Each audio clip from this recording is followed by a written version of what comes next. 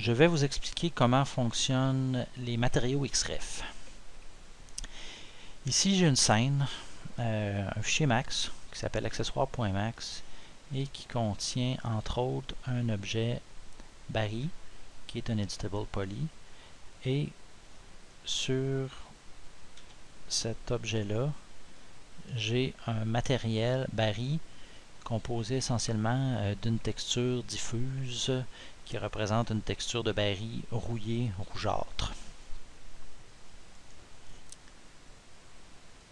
Je vais charger ici une scène et dans cette scène-là, je veux importer mon Barry sous forme de XREF.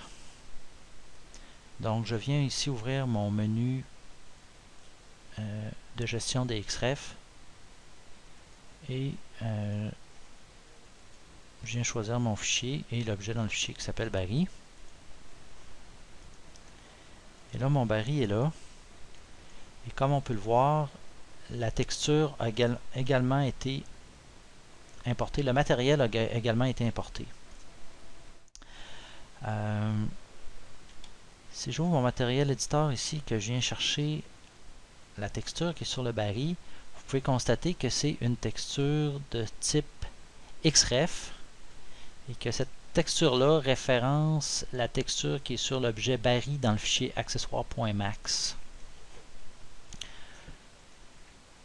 Par ailleurs, euh, cette information-là est également disponible ici dans mon menu XREF. Alors, je sélectionne ici mon fichier accessoire.max et on peut voir que euh, la texture est également présente. Donc, 3D euh, Studio Max m'indique que dans cette scène-là, il y a un matériel XREF euh, qui est référencé à partir du fichier accessoire.max.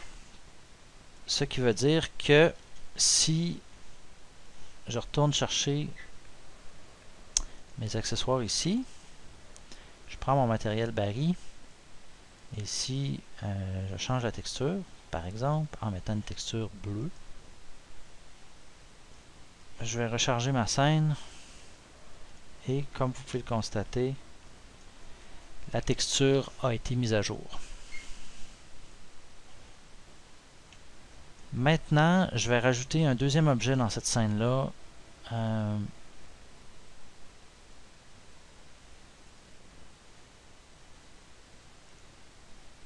dans mon fichier accessoire.max je vais aller chercher la caisse Donc ma caisse est ici. Comme tous les objets XREF, je peux la déplacer.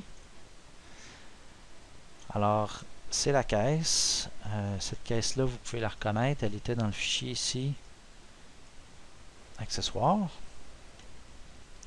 Cette caisse-là, par contre, aucun matériel d'appliqué. Donc, dans ma scène principale, il n'y a pas de matériel non plus si je retourne ici, que je prends un matériel, que je l'applique sur ma caisse, je sauvegarde mon fichier, je charge ma scène, vous voyez, ça n'a pas été mis à jour. Pourquoi? Parce que le matériel n'existait pas quand j'ai importé l'objet. Alors si je veux euh, prendre le matériel que j'ai dans mon autre fichier et l'appliquer ici.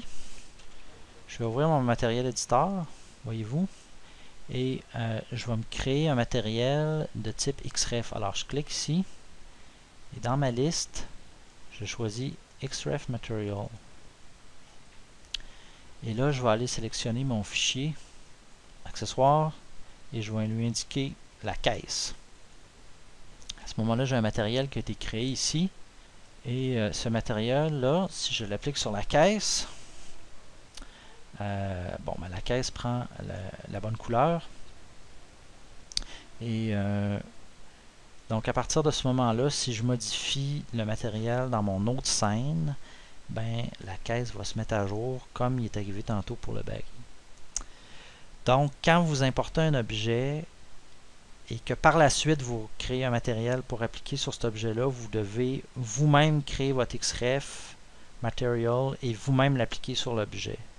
ce qui n'est pas le cas quand vous importez un objet sur lequel il y avait déjà un matériel.